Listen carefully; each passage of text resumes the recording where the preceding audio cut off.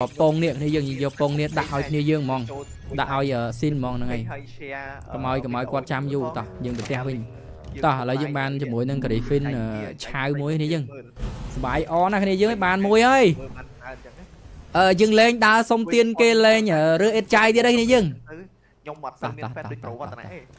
តោះចឹងគ្នាយើងឈប់ឈប់ទៅ fan Pro វឌ្ឍនៈអត់កើតទេអាប៉ែហ្នឹងគ្នាយើងខ្ញុំសុំផ្អាកទទួលប្រម៉ូត Pro Summer គ្នាយើង ផ្អាកចាប់ពីថ្ងៃនេះតទៅ